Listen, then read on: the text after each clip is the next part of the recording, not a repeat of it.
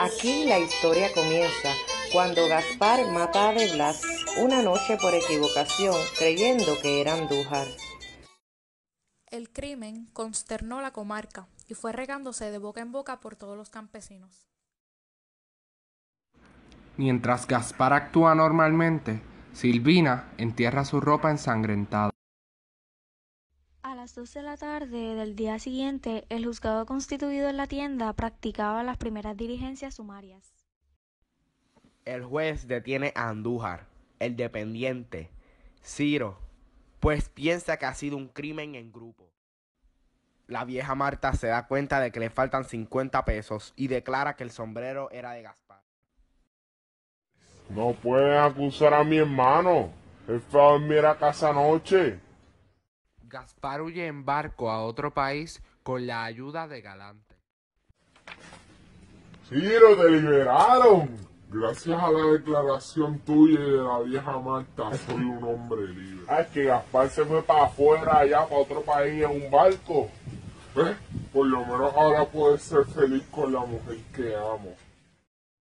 Un año después, Era la época de cosechar café en la finca de Juan del Salto.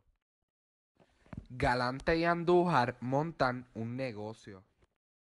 Ciro se instala con Silvina, Leandra y Pequeñín.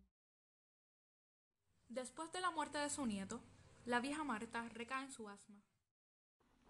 Llegando al cerezo para desenterrar su dinero, muere de un ataque de asma con los ojos abiertos y señalando el cerezo. Tres días después encuentran el cuerpo de la vieja Marta ya en proceso de descomposición y por su obvia posición el empleado de Andújar encuentra la tinaja enterrada bajo el cerezo y monta otra tienda en el llano. Ciro y otros campesinos conducen un grupo de mulas con productos de la granja para venderlos en el llano. De camino al llano, paran a beber ron. Ciro, en un intento humilde de ayudar a su hermano, pone su vida en riesgo por el estado de embriaguez de Marcelo.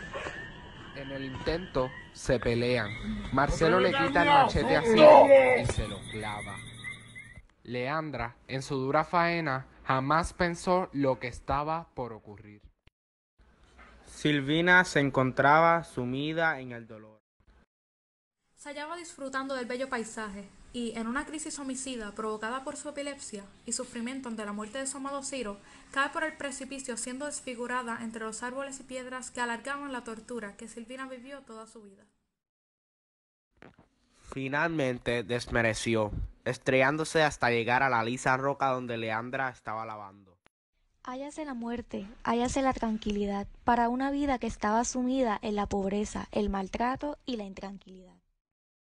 Cuando los últimos clamores de la desgracia desvaneciéronse a lo lejos, el lugar quedó solitario.